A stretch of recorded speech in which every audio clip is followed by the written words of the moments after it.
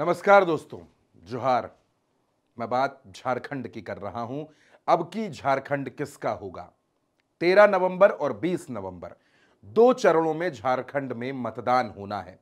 इक्यासी सीटों वाले इस राज्य में बहुमत का आंकड़ा इकतालीस है।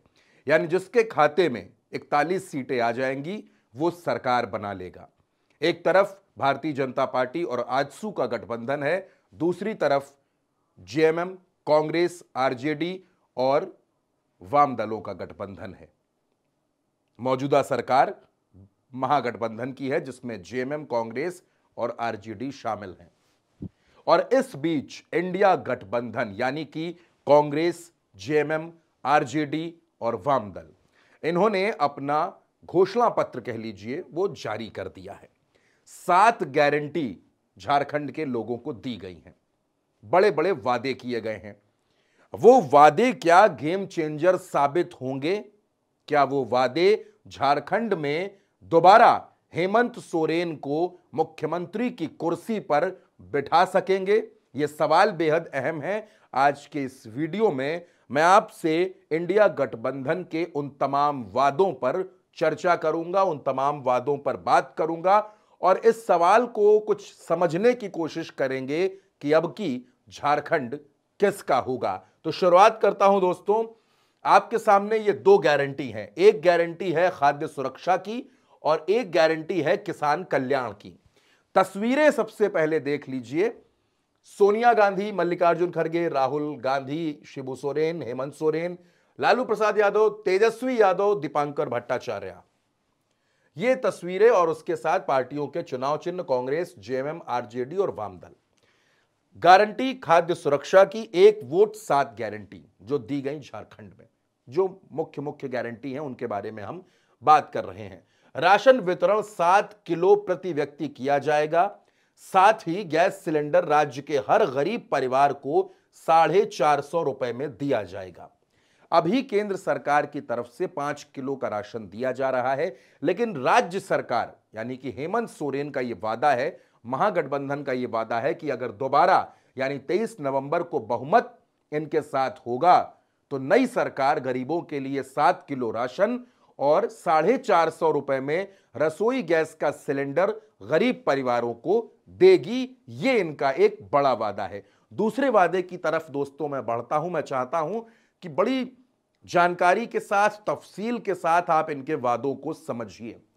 गारंटी है किसान कल्याण की धान के एमएसपी को चौबीस सौ रुपए से बढ़ाकर बत्तीस सौ रुपए करने के साथ साथ यानी कि आठ सौ रुपए की बढ़ोतरी होगी धान की एमएसपी में।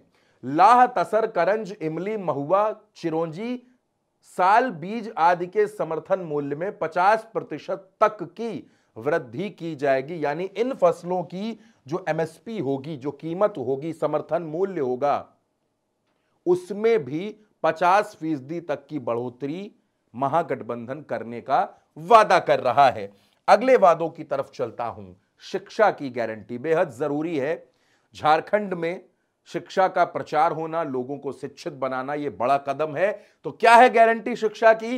राज्य के सभी प्रखंडों में, यानी ब्लॉक्स में, डिग्री कॉलेज तथा जिला मुख्यालयों में इंजीनियरिंग मेडिकल कॉलेज और यूनिवर्सिटी की स्थापना की जाएगी, साथ ही रोज़गार के अवसर उपलब्ध कराने हेतु औद्योगिक प्रोत्साहन नीति, यानी कि विकास करने के लिए जो उद्योग हैं उनको आगे बढ़ावा देने के लिए औद्योगिक प्रोत्साहन नीति लाते हुए हर राज्य, इस राज्य के सभी जिला मुख्यालयों में 500-500 एकड़ का औद्योगिक पार्क बनाया जाएगा, यानी कि हर ज़िले में इंडस्ट्रियल पार्क बनाए जाएँगे। इसके साथ साथ ये तो शिक्षा की बात हो गई, अब शिक्षा के आगे बात होती है रोज़गार की।